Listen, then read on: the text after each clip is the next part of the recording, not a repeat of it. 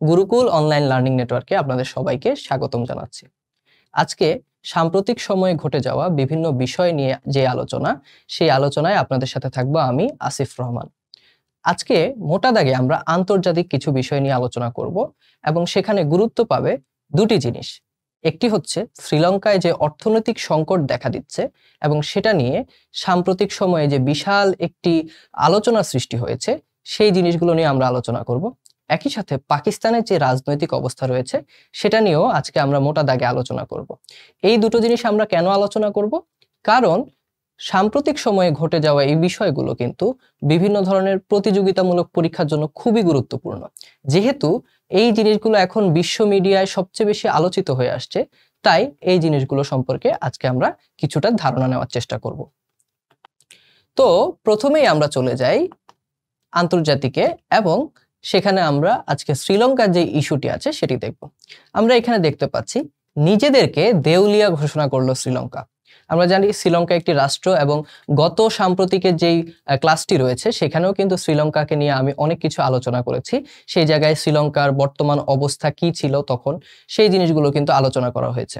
এখানে আমরা দেখতে পাচ্ছি যে নিজেদেরকে দেউলিয়া ঘোষণা করল শ্রীলঙ্কা। তাহলে শ্রীলঙ্কা সম্পর্কে আমরা গত ক্লাসে আলোচনা করেছি, সেদিকে আমরা আর আলোচনা বাড়াবো না। আমরা মূলত আজকে যে জিনিসটি আলোচনা করব, সেটি হচ্ছে দেউলিয়া বলতে কি বোঝায়, একটি রাষ্ট্র কখন দেউলিয়া হয়ে যায়। দেউলিয়া বলতে এমন একটা অবস্থা বোঝায় যখন একজন মানুষ অথবা একটি রাষ্ট্র অথবা একটি প্রতিষ্ঠান, সে এত বেশি পরিমাণ ঋণ করে ফেলে যে সেই ঋণগুলো শোধ করার কোনো অবস্থা তার কাছে থাকে না, সেই পরিমাণ সম্পদ বা অর্থ তার কাছে থাকে না, সেই মুহূর্তে সে নিজেকে দেউলিয়া ঘোষণা করে এবং বলে দেয় যে এই ধরনের ঋণগুলো সে আর শোধ করতে পারবে না, অর্থাৎ এই ঋণগুলো যেন তার কাছে আর চাওয়া না হয়। শ্রীলঙ্কার ক্ষেত্রেও আমরা দেখেছি গত কয়েকদিন ধরে শ্রীলঙ্কা বিশাল একটি অর্থনৈতিক যে সংকট রয়েছে, সেই সংকটের মধ্য দিয়ে যাচ্ছিল। গতকালকেই শ্রীলঙ্কা নিজেদেরকে দেউলিয়া বলে ঘোষণা করল এবং তারা বলল, তারা আইএমএফ থেকে বা অন্যান্য যে ঋণ প্রদানকারী যেসব সংস্থা আছে, তাদের থেকে যে পরিমাণ অর্থ নিয়েছে, সেগুলো ফিরিয়ে দেওয়া তাদের পক্ষে কোনোভাবেই এখন আর সম্ভব নয়। সেক্ষেত্রে তাদের রিজার্ভে যেই পরিমাণ টাকা আছে, সেই টাকাগুলো তারা কি করবে? রিজার্ভের টাকাগুলো দিয়ে তাদের কেন্দ্রীয় ব্যাংকের গভর্নর বলেছেন যে, রিজার্ভে যে পরিমাণ টাকা আছে, সেই টাকা দিয়ে শুধুমাত্র তারা জ্বালানি তেল এবং প্রয়োজনীয় যে খাদ্য এবং ওষুধ রয়েছে সেই জিনিসগুলো আমদানি করতে চান। অর্থাৎ তাদের কাছে শুধুমাত্র তেল, খাবার কেনার টাকা ছাড়া বর্তমানে শ্রীলঙ্কা রাষ্ট্রে কিন্তু খুব বেশি টাকা নেই। সেক্ষেত্রে শ্রীলঙ্কা তার বাইরের দেশগুলো থেকে যেই ধরনের সে ঋণ করেছে সেই ঋণগুলো কিন্তু সে ফিরিয়ে দিতে পারবে না। এমন একটি জায়গায় এসে শ্রীলঙ্কা নিজেদেরকে ঘোষণা করে দিল যে তারা এখন দেউলিয়া হয়ে গেছে। আন্তর্জাতিক ঋণ প্রদানকারী যে সংস্থাগুলো আছে, তাদের সেই ঋণগুলো তারা এখন আর শোধ করতে পারবে না। অর্থাৎ আমরা বুঝতে পারছি শ্রীলঙ্কার বর্তমান যে অবস্থা, সেটি কিন্তু খুবই শোচনীয়। তাদের কাছে কিন্তু পর্যাপ্ত পরিমাণ অর্থ নেই। দেশের মানুষ খেতে পারছে না, দেশে মুদ্রাস্ফীতি হচ্ছে এবং একই সাথে এমন একটা পর্যায়ে এসে শ্রীলঙ্কার যে কেন্দ্রীয় ব্যাংক, তারা বলে দিল, তাদের কাছে খুব অল্প পরিমাণ টাকা আছে। এগুলো দিয়ে তারা যদি তেল কিনে এবং বিদ্যুৎ উৎপন্ন করে, সেক্ষেত্রেই তাদের টাকাগুলো শেষ হয়ে যাবে। অর্থাৎ আমরা বুঝতে পারছি যে কি ধরনের একটি সংকটের দিকে শ্রীলঙ্কা আস্তে আস্তে এগিয়ে যাচ্ছে এবং এই সংকট থেকে আসলে উত্তরণের উপায় কি সেটি কিন্তু শ্রীলঙ্কার মানুষ এখনও জানেন না। তো আমরা একটু দেখি এই প্রেক্ষাপটটা আলোচনা করার চেষ্টা করি। উনিশশো আটচল্লিশ সালে যুক্তরাজ্যের স্বাধীনতা পাওয়ার পর থেকে সবচেয়ে ভয়াবহ অর্থনৈতিক সংকটে পড়েছে শ্রীলঙ্কা। অর্থাৎ এই যে উনিশশো সালে যুক্তরাজ্যের হাত থেকে বা এই কলোনিয়াল যে শাসন রয়েছে, তাদের হাত থেকে এই স্বাধীনতা পাওয়ার পরে এরকম অর্থনৈতিক সংকট কখনোই শ্রীলঙ্কা দেখেনি। এবং এই অর্থনৈতিক সংকটের পেছনে আসলে কি কি কারণ ছিল সেগুলো কিন্তু গত ক্লাসে আমি আলোচনা করেছি। সেগুলো এখানে রিপিট করব না। আপনারা যদি সেই আলোচনাগুলো দেখতে চান, অবশ্যই আমাদের আগের সপ্তাহের সাম্প্রতিকের ক্লাসটি দেখে নেবেন। এখন বৈদেশিক মুদ্রার অভাবে জ্বালানি ও ওষুধের সংকট দেখা দিয়েছে। আমরা যেটা বলছি যে শ্রীলঙ্কার কাছে খুবই অল্প পরিমাণ টাকা আছে এবং যেই পরিমাণ টাকা আছে, তাতে আসলে তারা জ্বালানি এবং ওষুধও ঠিক মতো কিন্তু কিনতে পারছে না। সেক্ষেত্রে শ্রীলঙ্কার মানুষের জীবনযাত্রা এটা কিন্তু একটা শোচনীয় পর্যায়ে চলে গেছে এবং মানুষ কিন্তু দিশে হারা হয়ে তারা রাস্তায় নামছে, তারা প্রধানমন্ত্রীর বিরুদ্ধে কথা বলছে, তারা রাষ্ট্রপতির বিরুদ্ধে কথা বলছে। কিন্তু কোনো ধরনের কোনো সমাধানের পথে কিন্তু কেউ আগাতে পারছে না। কেননা এই দেশটিতে এত পরিমাণ ঋণের বোঝা এবং এই টাকাগুলো এত পরিমাণ দুর্নীতি হয়েছে যে এখন টাকাই খুঁজে পাওয়া যাচ্ছে না ঋণ শোধ করার জন্য। সেক্ষেত্রে এখানে কয়েকটি নাম কিন্তু গুরুত্বপূর্ণ। যেই দেশটির কথা আমরা বলছি, সেই দেশের প্রধানমন্ত্রীকে এবং যেহেতু এটা একটি অর্থনৈতিক সংকট, সেক্ষেত্রে সেই দেশের অর্থমন্ত্রীর নামও কিন্তু বিভিন্ন পরীক্ষায় চলে আসতে পারে। প্রথমত আমরা দেখে নেই, শ্রীলঙ্কার বর্তমান প্রধানমন্ত্রী হচ্ছে মাহিন্দ্রা রাজাপাকসে এবং শ্রীলঙ্কার বর্তমান অর্থমন্ত্রী হচ্ছেন আলী সাবরি। এই রাজাপাকসে কিন্তু একসময় শ্রীলঙ্কার রাষ্ট্রপতির দায়িত্ব পালন করেছেন এবং বর্তমানে তিনি শ্রীলঙ্কার প্রধানমন্ত্রীর দায়িত্ব পালন করছেন। তার বিরুদ্ধে বিভিন্ন সময় বিভিন্ন রকম দুর্নীতি এবং অনিয়মের অভিযোগ কিন্তু উঠেছে এবং তার বিরুদ্ধে তার দেশের মানুষ কিন্তু এখন ফুলে ফেপে উঠেছে এবং তার অপসারণ কিন্তু সবাই চায়। গত সপ্তাহে আমরা দেখেছি যে ২৬ জন মন্ত্রী তারা পদত্যাগ করেছেন। কিন্তু মাহিন্দ্রা রাজাপাকসে এখন পর্যন্ত কিন্তু তার দেশ থেকে কোনো ধরনের তার মন্ত্রিসভা থেকে কিন্তু পদত্যাগ করেননি। একই সাথে আমরা একটু এখানে এটাও জেনে নেই যে শ্রীলঙ্কার বর্তমান রাষ্ট্রপতির নাম কি। শ্রীলঙ্কার বর্তমান রাষ্ট্রপতির নাম হচ্ছে গোতাবায়া রাজাপাকসে। এই ধরনের প্রশ্নগুলো কিন্তু চলে আসতে পারে, যেহেতু শ্রীলঙ্কার একটা অর্থনৈতিক সংকট দেখা দিয়েছে এবং এই জিনিসটি বৈশ্বিক একটি সংকটে রূপ নিচ্ছে, সেক্ষেত্রে শ্রীলঙ্কা সম্পর্কে বিভিন্ন ধরনের প্রশ্ন আসতে পারে যে শ্রীলঙ্কার রাজধানীর নাম কি, মুদ্রার নাম কি বাণিজ্যিক রাজধানীর নাম কি? এই ধরনের অনেক কিছু কিন্তু প্রশ্নে চলে আসতে পারে। সেই জিনিসগুলো কিন্তু আমাদেরকে খুব ভালোভাবে পড়তে হবে। শ্রীলঙ্কা নিয়ে মোটা দাগে যে আলোচনা, সেটি আমি গত ক্লাসে করেছি। আপনারা চাইলে সেই ক্লাসটি দেখে আসতে পারেন। ডেসক্রিপশন বক্সে সেই ক্লাসটির লিঙ্ক দিয়ে দেওয়া হলো। এরপর যদি আমরা দেখি, বর্তমানে শ্রীলঙ্কার কি অবস্থা? শ্রীলঙ্কায় পারমানেন্টে অনাস্থা প্রস্তাব আনার হুমকি দিয়েছে বিরোধীরা। অর্থাৎ এই যে একটি সংকট দেখা দিচ্ছে। সেই জায়গায় কিন্তু এখন যারা ক্ষমতায় রয়েছে, তাদের বিরুদ্ধে একটা অনাস্থা প্রস্তাব কিন্তু আনার জন্য হুমকি দিয়েছে বিরোধীরা। সেক্ষেত্রে আমরা একটু দেখে নিই, সরকারের পদত্যাগ দাবিতে বিক্ষোভকারীদের সঙ্গে আলোচনায় বসার প্রস্তাব দিয়েছে শ্রীলঙ্কার প্রধানমন্ত্রী মাহিন্দ্রা রাজাপাকসে। গতকাল বুধবার এই প্রস্তাব দিয়েছেন তিনি। এদিকে অর্থনৈতিক সংকট নিয়ে প্রবল চাপের মুখে থাকা সরকারের বিরুদ্ধে পার্লামেন্টে অনাস্থা প্রস্তাব আনার হুমকি দিয়েছে বিরোধীরা। অর্থাৎ এই জায়গায় কিন্তু একটি গুরুত্বপূর্ণ টার্ন আমরা দেখতে পাচ্ছি। এখন এই যে রাজা পাকসে, তার কিন্তু এখন পর্যন্ত যেই মেয়াদ ছিল, মেয়াদটি কিন্তু শেষ হয়নি। তার আগেই তাকে কিন্তু ক্ষমতা থেকে সরিয়ে ফেলার একটা অবস্থা কিন্তু এখানে তৈরি হয়েছে। কেননা তাকে যদি এখন ক্ষমতা থেকে না সরানো হয়, তাহলে এই অর্থনৈতিক সংকট কিন্তু আরও সামনের দিকে এগোতে থাকবে। সেক্ষেত্রে কোন প্রক্রিয়ায় তাকে সরানো যেতে পারে, সেটাই হচ্ছে অনাস্থা প্রস্তাব। অর্থাৎ পার্লামেন্টের অধিকাংশ এমপি বা হচ্ছে আইন প্রণেতারা যদি মনে করেন যে এই প্রধানমন্ত্রীর উপর আমাদের কোনো ধরনের আস্থা নেই, সেক্ষেত্রে কিন্তু তার মেয়াদ শেষ হওয়ার আগেই তাকে তার যে পদটি রয়েছে, এটি ত্যাগ করতে হবে। সেক্ষেত্রে এই যে অনাস্থা প্রস্তাবের যে একটি বিষয়, এটি আনার জন্য কিন্তু বিরোধীরা অলরেডি মাহিন্দ্রা রাজাপাকসেকে হুমকি দিয়ে রেখেছে। যখন এই অনাস্থা প্রস্তাবের কথা আসে, সেখান থেকেই কিন্তু আমরা পাকিস্তানের দিকে চলে যেতে পারি। পাকিস্তানে অলরেডি একটা অনাস্থা প্রস্তাব পার্লামেন্টে পাশ হয়েছে। তার মাধ্যমে পাকিস্তানের যেই সাবেক প্রধানমন্ত্রী ছিলেন ইমরান খান, তার কিন্তু বিদায় হয়েছে এবং পাকিস্তান তার তেইশতম প্রধানমন্ত্রী, একজন নতুন প্রধানমন্ত্রী পেয়েছে। এবং সেই জিনিসটি কিন্তু আমরা এখন দেখতে যাব। তো প্রথমেই আমরা দেখি পাকিস্তানের নতুন প্রধানমন্ত্রী শাহবাজ শরীফ। এখানে আমরা শাহবাজ শরীফের ছবি দেখতে পাচ্ছি। তিনি গত পরশু দিনই হচ্ছে পাকিস্তানের নতুন প্রধানমন্ত্রী হিসেবে শপথ নিয়েছেন বা নিয়োগ হয়েছেন। সেক্ষেত্রে ইমরান খানের বিরুদ্ধে কিন্তু এক ধরনের অনাস্থা প্রস্তাব পার্লামেন্টে পাশ করা হয়েছে এবং তার মাধ্যমে ইমরান খান তার প্রধানমন্ত্রী যে পদটি ছিল, সেটি হারিয়েছেন। এখন এখানে কিন্তু বিভিন্ন ধরনের ষড়যন্ত্রের আভাস অনেকেই পাচ্ছেন এবং অনেকেই ধারণা করছেন এই জায়গায় ইমরান খানের যেই অবস্থানটি রয়েছে, ইমরান খানকে প্রধানমন্ত্রিত্ব থেকে সরানোর জন্য সরাসরি ভূমিকা পালন করেছে এখানে ইউনাইটেড স্টেটস অফ আমেরিকা এই ধরনের বিভিন্ন কথা কিন্তু আমরা বিশ্ব মিডিয়ায় দেখতে পাচ্ছি। একই সাথে পাকিস্তানে এবার প্রথমবারের মতো দেখা গেল যে কোনো প্রধানমন্ত্রীর বিদায়ের পর বা প্রধানমন্ত্রী ক্ষমতা হারানোর পর মানুষ রাস্তায় নেমে এসেছেন সেই প্রধানমন্ত্রীর পক্ষে কথা বলার জন্য। তো যাই হোক, এগুলোর ভিতরে বাইরে অনেক ধরনের আলোচনা সমালোচনা হচ্ছে। আমরা একটু দেখি যেই যেই জিনিসগুলো আমাদের পরীক্ষায় আসতে পারে যে জিনিসগুলো আমাদের পরীক্ষার জন্য ইম্পর্টেন্ট সেগুলো আমরা একটু দেখে নেই। আমরা দেখি পাকিস্তানের নতুন প্রধানমন্ত্রী হচ্ছে শাহবাজ শরীফ। সেই ক্ষেত্রে অনেক সময় নতুন নতুন প্রধানমন্ত্রী যারা নিয়োগ হন, তারা কততম প্রধানমন্ত্রী সেটি জানতে চাওয়া হয়। যারা নতুন নিয়োগ হন, তাদের দলের নাম জানতে চাওয়া হয় এবং কিছুটা ব্যাকগ্রাউন্ড থেকে কোয়েশ্চেন চলে আসে। সেক্ষেত্রে আমরা একটু দেখি, শাহবাজ শরীফের যে দল, এই দলের নাম হচ্ছে পাকিস্তান মুসলিম লীগ নওয়াজ।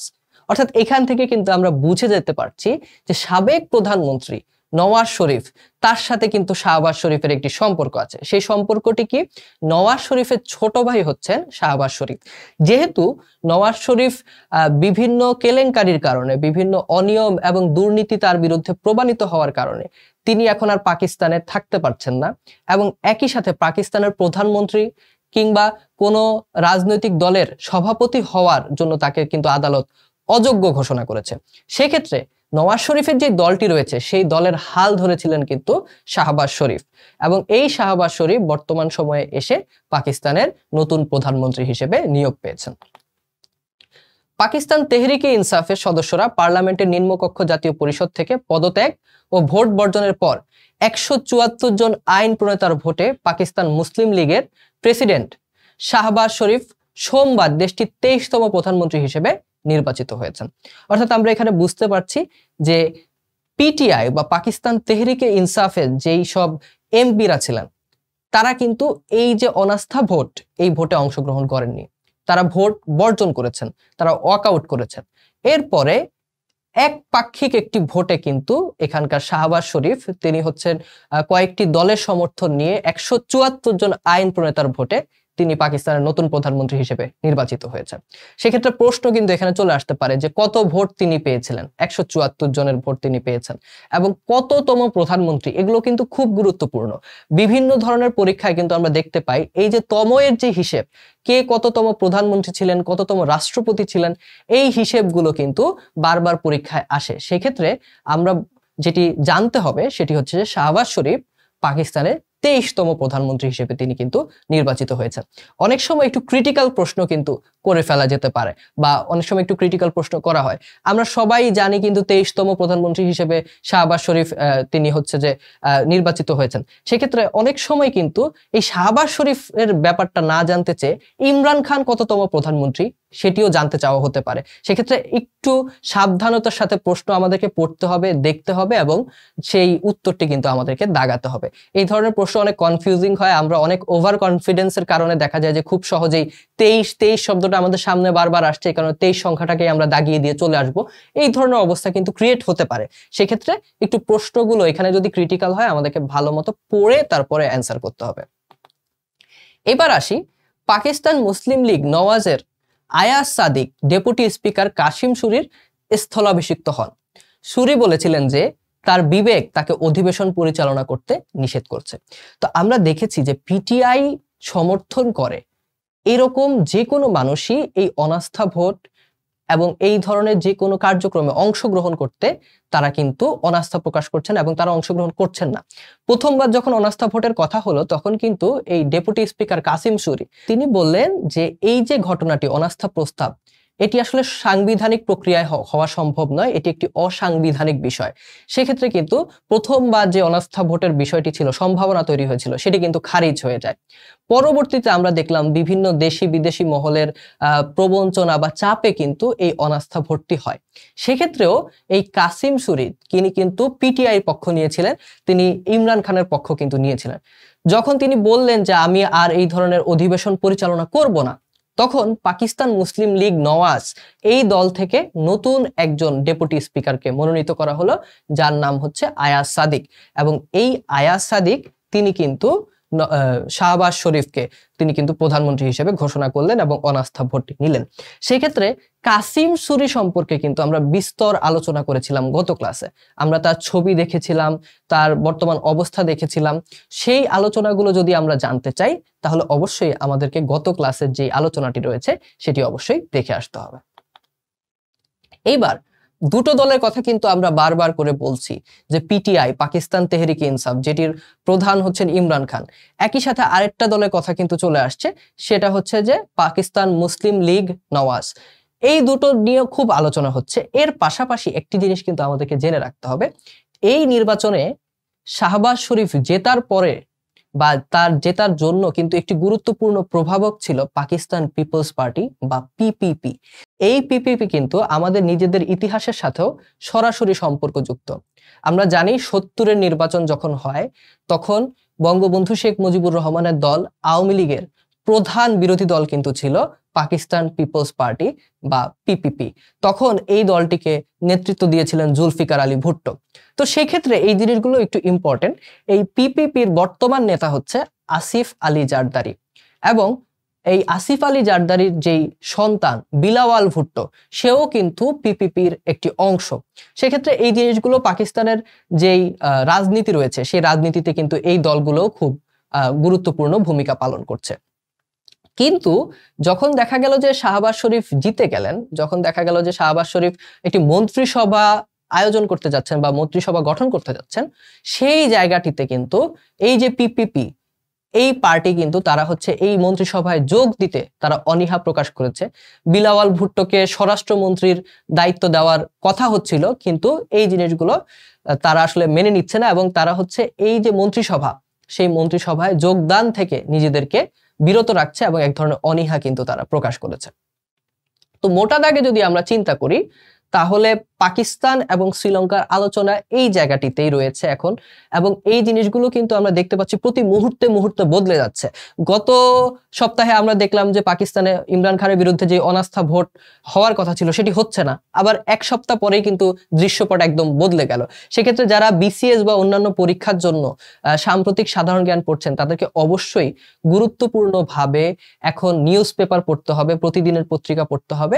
এবং এই ধরনের যত ভিডিও আছে, লেকচার আছে এই জিনিসগুলো খুব মনোযোগ সহকারে কিন্তু আপনাদেরকে দেখতে হবে। আশা করি এই লেকচারগুলো আপনাদেরকে খুব সহায়তা করবে। এবার বিশ্বের কাছ থেকে যদি আমরা একটু বাংলাদেশের দিকে ফিরে আসি, তাহলে আমরা নিকট অতীতে দেখব যে বাংলাদেশের সুন্দরবনের কাছে একটি প্রাচীন নিদর্শন কিন্তু আবিষ্কৃত হয়েছে। এগুলো কিন্তু পরীক্ষার জন্য খুবই গুরুত্বপূর্ণ। আমরা একটু এই আলোচনাটা দেখে নেই। যেই নিদর্শনটি আবিষ্কার হয়েছে, এটা প্রায় এক হাজার দুইশো বছর পুরনো। এবং এই ধরনের আশঙ্কাই করছেন যারা প্রত্নতত্ত্ববিদ রয়েছেন। তারা বলছেন যে এটি প্রায় বারোশো বছরের পুরনো হতে পারে। এবং এটা কোথায় হয়েছে আমরা একটু দেখি। খুলনার পাইকগাছা উপজেলার কপিলমুনি ইউনিয়নের রেজাকপুর গ্রামে মন্দিরের মতো দেখতে একটি স্থাপনা সহ বসতির নিদর্শন পাওয়া গেছে। পাওয়া গেছে পোড়া চাল, কড়ি, মূর্তি, টেরাকোটা, মাটির তৈরি বড় কড়াইয়ের আংটা সহ বেশ কিছু নিদর্শন। অর্থাৎ এইটা কিন্তু এই যে প্রাচীন সময় আমাদের যেই, আহ কালচার ছিল, আমাদের যে সংস্কৃতি ছিল, সেই জিনিসগুলোকে কিন্তু এই প্রায় এক হাজার দুইশো বছর আগে সেই সংস্কৃতিগুলোকে কিন্তু আমাদের কাছে ফুটিয়ে তুলছে। সেক্ষেত্রে এটা কিন্তু একটা গুরুত্বপূর্ণ প্রশ্ন হতে পারে যে কোন জায়গায় এখন প্রাচীন নিদর্শন পাওয়া গেছে? সেটা হচ্ছে সুন্দরবনের কাছে, খুলনার পাইকগাছা উপজেলার কপিলমুনি ইউনিয়নে। এই জিনিসগুলো আমাদেরকে একটু মনে রাখতে হবে। তো আজকের ক্লাসে আমরা কি কি দেখার চেষ্টা করেছি? আজকে খুবই পিন পয়েন্ট ভাবে আমরা দু থেকে তিনটি বিষয় দেখার চেষ্টা করেছি। এর মধ্যে দুটি হচ্ছে আন্তর্জাতিক বিষয় যেগুলো খুবই গুরুত্বপূর্ণ। আপনারা ধরে রাখতে পারেন যে কোনো ধরনের পরীক্ষায় এই ধরনের আলোচনা আপনারা পাবেন। পাকিস্তান, শ্রীলঙ্কা থেকে অবশ্যই আপনারা প্রশ্ন পাবেন। আমরা বলে রাখতে পারি, বর্তমানে সাধারণ জ্ঞানে সাম্প্রতিক থেকে যদি প্রশ্ন হয়, তিনটা টপিক থেকে প্রশ্ন পাওয়ার সম্ভাবনা খুবই বেশি। একটি হচ্ছে রাশিয়া ইউক্রেন সংকট, যেটি নিয়ে আমরা বিস্তর আলোচনা করেছি অনেকদিন ধরে। দ্বিতীয়ত হচ্ছে যে পাকিস্তানের যে সংকট, সেটি নিয়েও আমরা প্রতি সপ্তাহে আপনাদের সাথে আলোচনা করার চেষ্টা করছি। এবং তৃতীয় হচ্ছে শ্রীলঙ্কার সংকট। এই জিনিসগুলো যদি ভালো করে পড়ে রাখেন, তাহলে অবশ্যই আপনাদের কম্পিটিটিভ এক্সামের জন্য অনেক কিছু কাভার হয়ে যাবে। আজকের ক্লাসটি এ পর্যন্তই। আজকে আমরা খুব সংক্ষিপ্তভাবে কিছু জিনিস আলোচনা করার চেষ্টা করেছি। এতক্ষণ ধরে গুরুকুল অনলাইন লার্নিং নেটওয়ার্কের সাথে থাকার জন্য আপনাদেরকে ধন্যবাদ জানাই। আর এই ক্লাসটি যদি আপনাদের ভালো লেগে থাকে কিংবা কোনো ধরনের কোনো প্রশ্ন বা মতামত থাকে কমেন্ট সেকশনে সেটি কিন্তু জানাতে আমাদেরকে ভুলবেন না। আশা করি গুরুকুলের এই আয়োজন আপনাদের প্রস্তুতিতে সহায়ক ভূমিকা পালন করতে পারবে এবং আপনারা এই ক্লাসগুলো থেকে উপকৃত হবেন। ধন্যবাদ।